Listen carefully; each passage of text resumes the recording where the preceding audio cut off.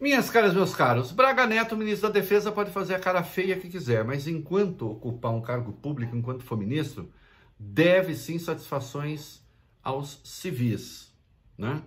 A nós, a sociedade como um todo, e muito especialmente aqueles que foram eleitos, porque tem mandato, que tem representação, e também aos órgãos do Congresso que cuidam da destinação do dinheiro público. Eu já chego lá, né? Vamos começar pela coisa que considero a mais importante no momento.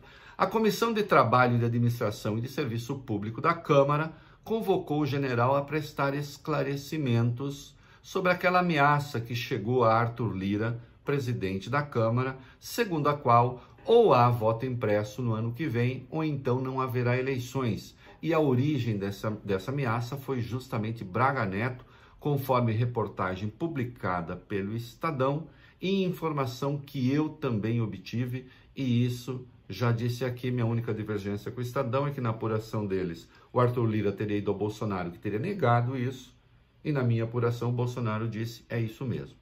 O intermediário dessa mensagem, Arthur Lira, foi ninguém menos do que Ciro Nogueira, atual chefe da Casa Civil. Né? Lembrando que nem Nogueira, nem Lira negaram o episódio, né? dizendo que preferem olhar para frente. Né? É muito provável que o general, indo à Câmara, negue que isso tenha acontecido, conforme ele já fez numa nota, né?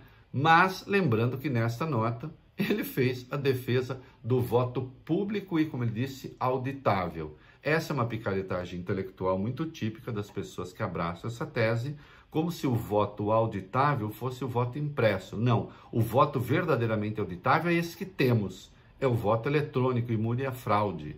Né? O voto em papel, que é o que a gente tinha, aquele sim não era auditável, porque sujeito a toda sorte de falcatruas. Né? Esse é o dado.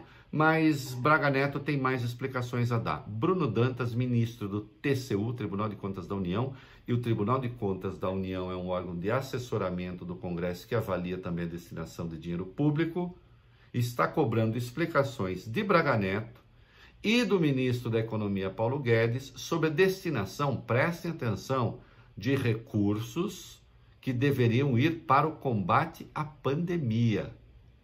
O Ministério da Defesa, que hoje está com Braga Neto, recebeu em 2020 a bolada de 435,5 milhões para o combate à Covid-19.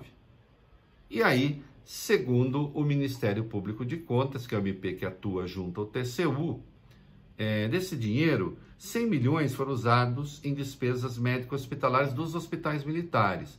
Ah, bom. Só que esses hospitais militares tinham lá as vagas, por exemplo, de UTI para a Covid-19 e não atendiam as pessoas que não pertenciam às Forças Armadas e ficaram lá com vagas ociosas. Não é? Quando esse dinheiro era para o combate à pandemia da população no seu conjunto, não para o combate à pandemia dos militares. Mas tem mais coisas. 6,2 milhões foram usados em manutenção. Olha, tem um trincado aqui no chão, vamos passar um cimento. Olha, tem um buraco ali no teto. E não para a Covid.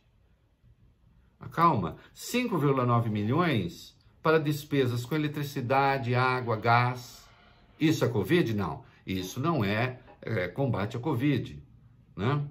Uh, um milhão para uniforme. E até mesmo, olha que interessante, R$ 25.500 para despesas de cudelaria. Ô tio rei, o que, que é cudelaria? Cudelaria é, são aqueles apetrechos que servem a quem lida com cavalos.